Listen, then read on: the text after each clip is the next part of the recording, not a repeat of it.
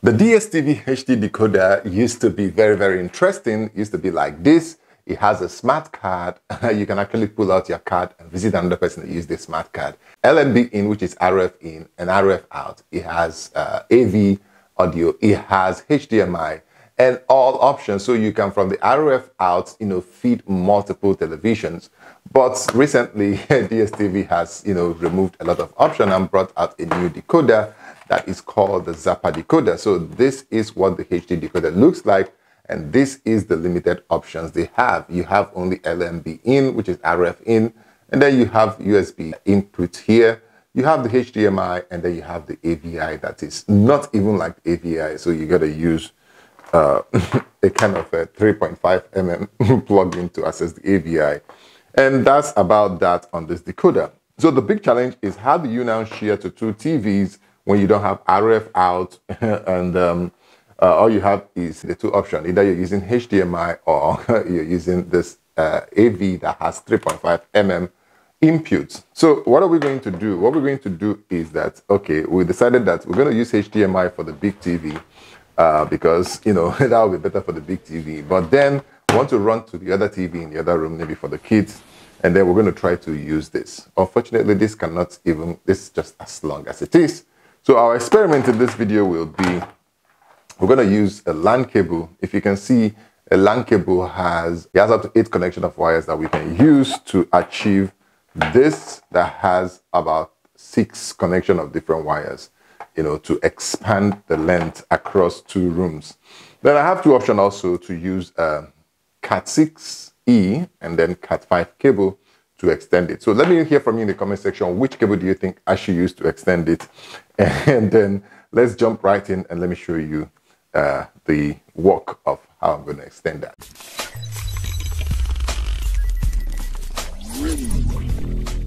So the HDMI output and the AV output here will give you the same channel. It's the same thing that they will output.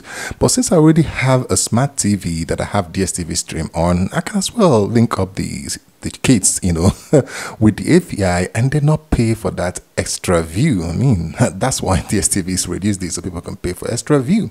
So remember, this is an experiment. And the reason why I'm doing this experiment is because um, I know that the quality that could come out from this cat cable, I've used cat 6 cable before for IP uh, cameras and the quality was good. So I'm like, okay, why not try it with DSTV in about 15 meters difference between uh, the three rooms uh, so that I can see how it works. So the goal is to see the quality of this and then I'll guide you to understand the configuration, how you join the wires, you know, and every other thing you do. But uh, have the strong feeling that this will work out well. And if you work out well, HDMI cables are more expensive, the splitters are more expensive, AV cables are cheaper, the extension, and even the LAN cable wires. I don't know how the final video quality will be, but um, that's what we're going to all see in the part two of this video. But let me show you how it's going to be done and what we're going to do in this. With this, you can actually avoid using the extra view and then just connect another TV. And good thing is that the other TV is a smart TV, so you can actually watch Netflix, Amazon Prime, YouTube, everything from the big TV. While the other person, you know, could just be watching uh, the DSTV from the one. There's even DSTV stream on the smart TV, so it's even the fun out of it. So uh, let's jump in. Let me show you the things I'm going to do. So this is white. So this is white and red and yellow. So let's confirm it by holding this one here and then measuring yellow is this one.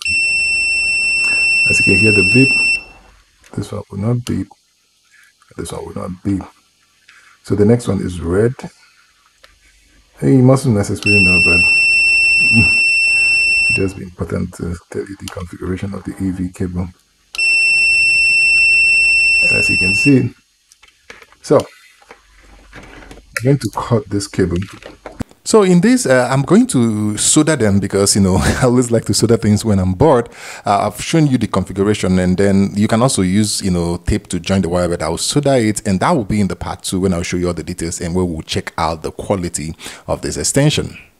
Okay, so that's about it. Um, I've shown you all the things that will be required and how you're going to connect, test, and know which cable is which. You have to know the audio and the video cables and know which one corresponds on the head. Um, so uh, in the part two, we're going to actually show you the distance, which is about 10 to 12 meters, and then the quality. We're going to compare the quality on the HDMI big TV and then the AVI extension via cable, LAN cable on the other TV, and then let's see whether it's worth it. Let's know whether it's something you can try. So make sure to subscribe. Click on that subscribe button to see that and turn on the notification bell icon to see that video immediately we upload it. Until I see you in the next one, it is peace to our world. Subscribe. I see you.